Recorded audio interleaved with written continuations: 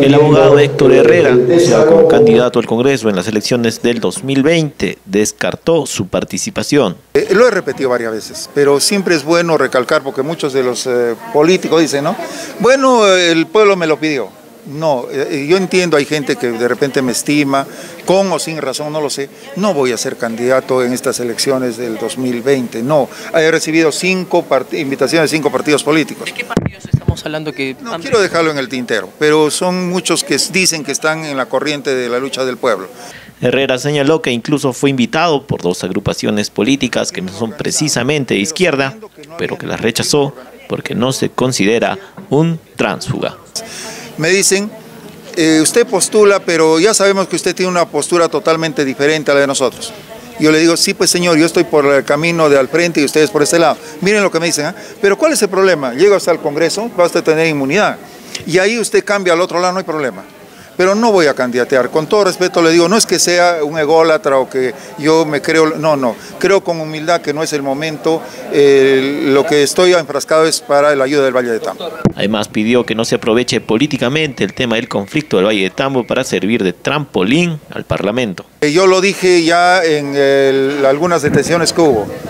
Eh, vinieron a Arequipa y con micro, y ustedes son testigos, que con un señor que, no la, que la prensa no lo quiere, de peluca larga, que no voy a decir su nombre, ¿no es cierto? Con un micro me insultaba.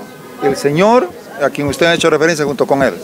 Yo les dije, señores, ojalá que esto no sea para que estén creando un campo político para las elecciones dijeron que no, hoy día que sí, es el problema de ellos, ellos contestarán el por qué, ¿no es cierto?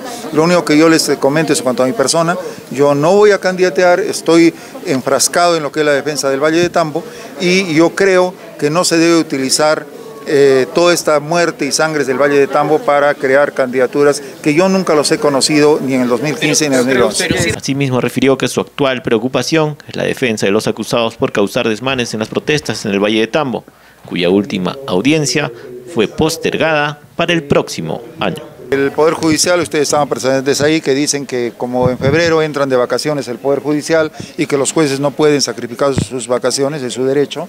Entonces, como este juicio se va a prolongar varios meses, entonces nos han programado para el mes de marzo del próximo año, en donde ya nos están llevando a maratónicas eh, sesiones y eh, audiencias entre las 8 de la mañana y las 4 de la tarde.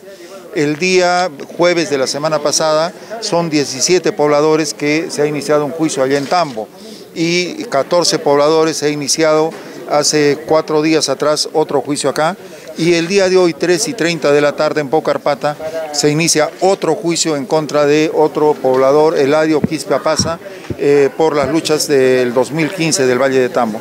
Es decir, que eh, se nos están acelerando todos estos procesos del 2015.